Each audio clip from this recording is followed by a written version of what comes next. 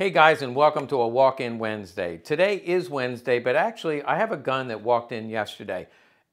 Super rare, guarantee you never saw one before. But before I get to that, you got to watch a commercial. That's right, we're not monetized, which means you don't get commercials at the beginning.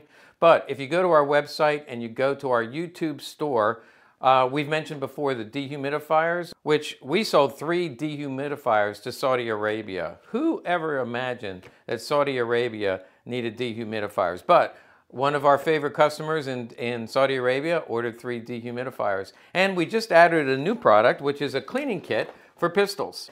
Right here are the calibers. I'll get up close and personal.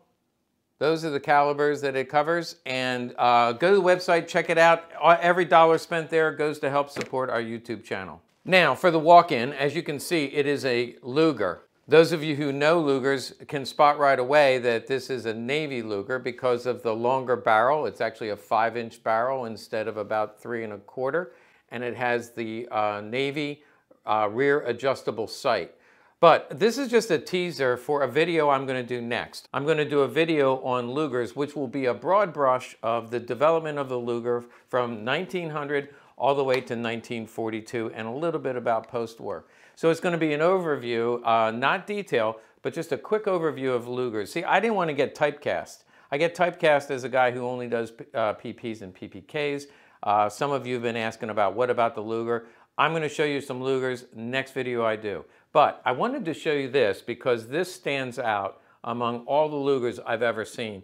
A, uh, a collector friend of mine uh, has done a, a list of Navy Lugers and he's researched, uh, all these pages are just serial numbers of Navy Lugers. If you happen to have one and you want to forward us some serial numbers and descriptions, uh, we're doing research on Navy Lugers. But even Norm does not have a Navy Luger like this one. You see, this is why this one is special. We'll start on the, the markings on the left-hand side. You can see uh, right here there's an, a Crown M. And the Crown M was uh, M for Marine, or in German that would be the German Navy. Uh, crown meaning this, this is, uh, is a World War I model. Actually, this is a 1908, uh, model 1908 Navy. Uh, you can also see the Crown M underneath the barrel. Just above the serial number, you see the Crown M. So we know that this is a, a Navy. It's all matching. You can see the circular pattern in the magazine, which is uh, distinctly Navy. And then barely visible, there's the same Crown N on the bottom. And uh, that was sta stamped along with a usually a serial number. This one does not have a serial number. But here's what makes this so unique. And some of you are waiting with bated breath. Check this out.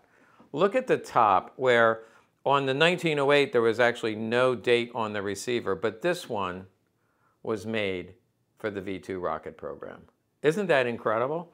Now, a 1908 that went to the V-2 rocket program, can you imagine how rare that would be?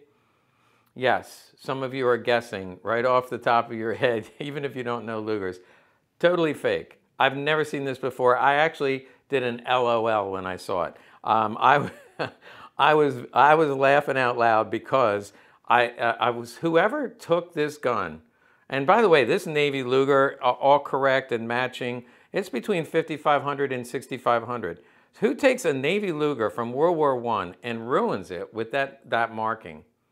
So um, I, I, just in case this is real, I thought we would take a look and, and see if there's any record of a V2 Navy Luger. So um, you can see here the development of the v, V1 rocket was actually in Peenemünde, uh, Germany. I hope I said that right. Peenemünde, Germany was their secret uh, base and Wernher von Braun uh, was the head scientist there. He later defected to the United States, probably a, a little coercion there as we were building our space program, brought him over and he was the head scientist at NASA and helped to develop the Saturn rocket. But as we, we see the V1 rocket uh, taking off here, that was often known as the buzz bomb because it would, it would buzz and the, uh, the British would know that it was about to hit when the buzz, not, the buzz sound stopped, it would begin to fall to the earth and they knew to duck and take cover.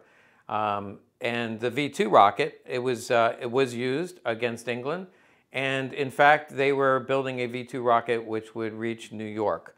Uh, uh, fortunately for us, for the United States, Uh, that was it was never completed, but it was uh, serious business. Wernher von Braun was in charge of the development of the V1 and the V2 rockets. Now let's take a look at um, him at, at that time.